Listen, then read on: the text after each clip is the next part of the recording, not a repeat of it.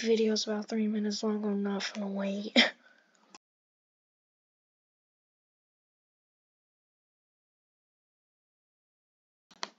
Tower of John